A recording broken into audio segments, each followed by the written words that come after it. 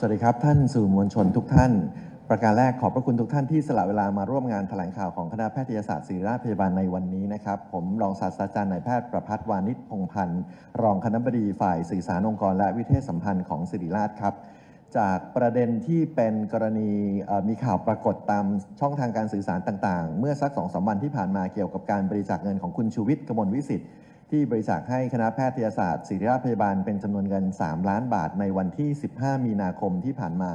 และเป็นประเด็นมีข้อสงสัยเกี่ยวกับที่มาของเงินบริจาค และมีคำถามต่อเนื่องมาถึงแนวทางปฏิบัติของคณะแพทยศาสตร์ศิริราชพยาบาลครับ วันนี้ได้รับความกรุณาจากท่านคณะบดีครับศาสตราจารย์นายแพทย์อภิชาติอัศวะมงคลกุล ได้กรุณามาชี้แจงข้อมูล และตอบคำถามอของพี่น้องสื่อมวลชนทุกท่านครับเรียนเชิญท่านคณะบดีครับ ขอบคุณมากครับอาจารย์ประพัฒน์เรียนท่านผู้สื่อข่าว แล้วก็สื่อมวลชนที่เคารพรักทุกท่านนะครับ ก็อย่างที่ท่านอาจารย์หมอประพัฒน์ได้เกินไปแล้วครับในวันที่ 15 มีนาคมที่ผ่านมาคุณชูวิทย์กมลวิสิทธิ์ได้นำเงินมาบริจาคเพื่อตั้งใจช่วยในเรื่องของกิจกรรมของภาควิชากายวิภาคศาสตร์ เป็นจำนวนเงิน 3 ล้านบาท ซึ่งผมแล้วก็ท่านหัวหน้าภาควิชาได้มาเป็นผู้รับมอบเองจริงๆครับ แต่จากข้อมูลแล้วก็ข่าวล่าสุดในวันสองวันนี้เป็นที่แน่ชัดแล้วว่าเงินดังกล่าว เป็นเงินที่มีส่วนเกี่ยวข้องกับธุรกิจที่อาจจะผิดกฎหมาย ซึ่งทางคณะแพทยศาสตร์ศิริพยาบาลไม่ได้นิ่งนอนใจครับในวันนี้เราก็เลยยืนยันนะครับ จริงๆแล้วเราก็ได้มีโอกาสที่ติดต่อไปแล้วนะครับ ว่าเราอยากจะขอคืนเงินจำนวน 3 ล้านบาทนี้ให้กับคุณชูวิทย์แล้วก็พยายามจะติดต่อให้ท่านมารับ ให้เร็วที่สุดครับ อันนี้เป็นข้อมูลที่อยากจะเรียนท่านสื่อมวลชน ผู้สื่อข่าวทุกท่านครับ ขอบพระคุณท่านคณะบดีนะครับ ก็เป็นที่ชัดเจนว่าคณะแพทยศาสตร์ศิริราชพยาบาล จะทำเรื่องขอคืนเงินให้กับคุณชูวิทย์กมลวิสิทธิ์โดยจะดำเนินเรื่องให้เร็วที่สุดนะครับในช่องทางที่เหมาะสม จากนี้ไปถ้ามีคำถามของทางผู้สื่อข่าวสื่อมวลชนท่านใด สามารถสอบถามได้นะครับเรียนเชิญครับ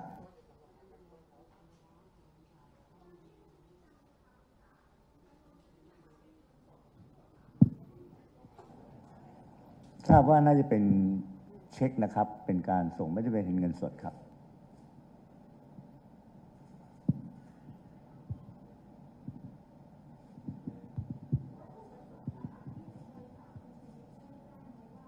อ๋อช่วยงานของภาควิชากายวิภาคศาสตร์ กายวิภาคศาสตร์ก็เป็นหนึ่งในหลักสูตรที่เราผลิตเพื่อทำให้คุณหมอมีความรู้ทักษะที่ไปดูแลคนไข้ต่อไปครับ เรียนถามค่ะตามปกติของการไปรับเงินบริจาคอะค่ะทางศิริราชมีหลักเกณฑ์ไหมคะว่าต้องบริจาคเท่าไหร่ถึงแบบไปรับบริจาคเพื่อป้องกันไม่ให้แบบการไปฉกฉวยหรือว่า หรือแค่แคการถ่ายภาพหรือว่าการบริจาคเพื่อการเมืองหรือแบบการฟอกขาวอะค่ะ ไม่มีกฎเกณฑ์อะไรทั้งสิ้นอยู่ที่ความตั้งใจของผู้รู้จักทุกท่านที่มีความตั้งใจอยากจะมาช่วยศิริราช หรือช่วยชีวิตที่ศิริราช ที่ศิริราชเราเป็นสถาบันการแพทย์ของแผ่นดิน เรามีคนไข้ที่มีมารับการรักษาจำนวนมากจากทุกๆทที่ของประเทศไทยเพราะนั้นการรับบริจาคถือว่าทุกคนมีจิตศรัทธา แล้วเราก็ซาบซึ้งในสิ่งที่ทุกท่านได้กรุณามาช่วยเหลือตลอดครับ แล้วเราก็นำเงินบริจาคของทุกๆทท่านที่จะต้องระบุเฉพาะว่าจะเอาไปช่วยอะไร จะเป็นเรื่องคนไข้ผู้ด้อยโอกาส จะเป็นเรื่องของการศึกษา การวิจัยการสร้างตึก อันนี้เป็นสิ่งที่เราจะต้องนำเงินของผู้บริจาคไปใช้เฉพาะกับที่ท่านตั้งวัตถุประสงค์ไว้อย่างตรงไปตรงมาครับ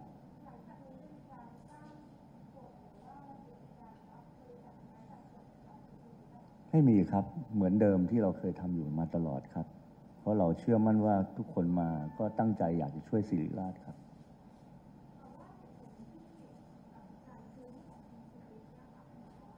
เพราะว่าข่าวแล้วก็คุณชูวิทย์ก็ได้พูดชัดเจนครับ เป็นเงินที่เกี่ยวข้องกับธุรกิจที่อาจจะ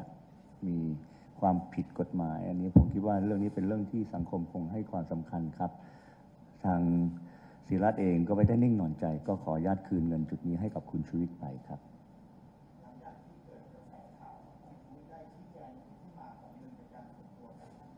ไม่มีเลยครับ ตามข่าวอย่างเดียวเลยครับ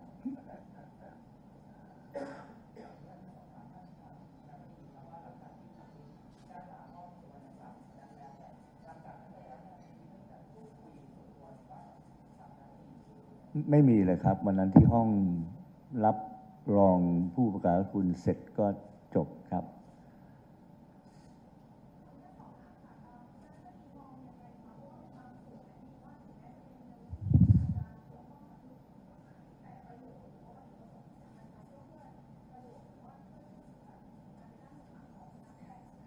ถ้าเมื่อไหร่มันเป็นเรื่องของสิ่งที่เกี่ยวข้องผิดกฎหมาย น่าจะเป็นเรื่องกระบวนการยุติธรรม เกี่ยวข้องน่าจะเป็นเรื่องที่ดีที่สุดครับ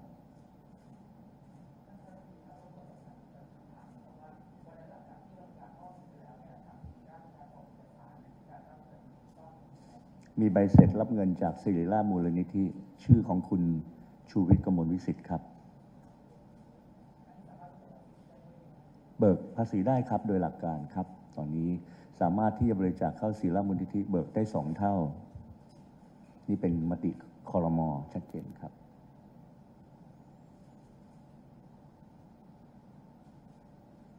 เห็นนะครับว่าการแถลงข่าวก็ทุกอย่างก็เคลียร์ทั้งหมดนะครับ ครับยังพอมีเวลาอีกเล็กน้อยสำหรับคำถามนะครับ ซึ่งคิดว่าน่าจะไม่มีคำถามเพิ่มเติมแล้วนะครับ เพราะฉะนั้นในนามของคณะแพทยศาสตร์ศิริราชพยาบาลขอบพระคุณ ผู้สื่อข่าวและสื่อมวลชนทุกท่านที่ให้ความกรุณาประชาสัมพันธ์ข้อมูลข่าวสารนั้นเป็นประโยชน์ของคณะแพทยศาสตร์ศิริราชพยาบาลมาโดยตลอดนะครับ ก็อยากจะขอรับการสนับสนุน เพื่อเผยแพร่ข้อมูลข่าวสารที่เป็นประโยชน์กับสังคม จากคณะแพทยศาสตร์ศิริราชพยาบาล เพื่อให้ประชาชนคนไทยได้รับรู้ข้อมูลข่าวสารที่เป็นประโยชน์เช่นนี้ต่อไปในอนาคตนะครับ วันนี้ต้องขอบพระคุณท่านคณะบดี ท่านอาจารย์อภิชาติเป็นอย่างสูงนะครับ ขอบพระคุณทีมงานของสื่อสารองค์กร ขอบพระคุณอะมีอีกหนึ่งคำถามครับเชิญครับ สุดท้ายค่ะ คือ สงสัยอะค่ะ อันนี้ก็เข้าใจถึงผู้เจตนาของผู้บริจาคนะคะ ว่าทุกคนมีความปรารถนาดี อย่างเงี้ยค่ะ ไม่ว่าคนที่จะเคยทำผิดหรือเป็นโจรหรือเป็นอะไรมาก็ตามอาชีพต่างๆเขาก็มีเจตนาจะบริจาคเงี้ยค่ะ อย่างตรงเนี้ยเออถ้าคนอื่นๆเขาจะบริจาคไม่ได้เหรอคะ หรือแบบอันนี้เราพูดถึงตัวเงินเนาะเพราะว่าเงินเอาก็มาทำประโยชน์อะไรเงี้ย ถามเป็นพื้นฐานเฉยๆค่ะ เราไม่ได้ดูที่ตัวบุคคลครับเราดูที่ความตั้งใจของทุกคน แม้ในอดีตแต่ละคนอาจจะมีประวัติอันนี้ไม่ได้เกี่ยวข้องหมายถึงว่าตัวเงินนะฮะถ้ามาจากตัวของตัวเองที่อยากบริจาคก็เป็นสิ่งที่เราสามารถรับได้อย่างเต็มที่ครับ แต่อันนี้คุณชูวิทย์ก็บอกว่าเขาก็มีเจตนาดีอยากจะบริจาคะไรแต่เนื่องจากเงินที่เราทราบในขณะนี้มันไม่ได้เป็นเงินของคุณชูวิทย์จากข่าว แล้วก็ข้อมูลที่เราทราบอยู่ในขณะนี้ครับ อันนี้จะเป็นเงินที่เราต้องคืนคุณชูวิทย์เพื่อให้ไปดำเนินการให้ถูกต้องตามกระบวนการยุติธรรมครับ ก็หมายความว่าถ้าเป็นเงินของคุณชูวิทย์เองอย่างเงี้ยค่ะ ก็ทางสิริราชก็สะดวกใจแล้วกว่าที่ไม่มีที่มาแบบนี้ถูใช่กไหมต้องครับ แน่นอนที่สุดครับ ขอบคุณ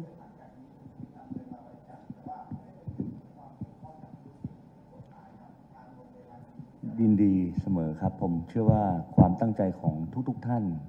ใครก็ได้ที่เอาเงินของตัวเองที่อยากจะมาช่วยชีวิตของประชาชนเป็นสิ่งที่ศรีราชยินดีที่จะรับไป